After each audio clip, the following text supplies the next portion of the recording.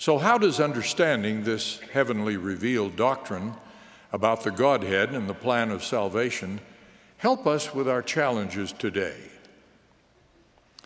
Because we have the truth about the Godhead and our relationship to them, the purpose of life and the nature of our eternal destiny, we have the ultimate roadmap and assurance for our journey through mortality.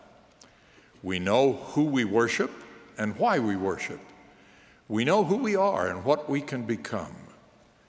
We know who makes it all possible. And we know what we must do to enjoy the ultimate blessings that come through God's plan of salvation.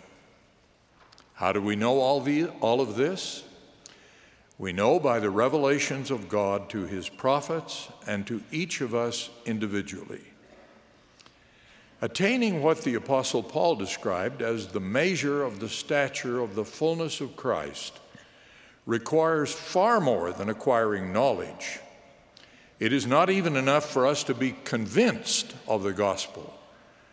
We must act and think so that we are converted by it.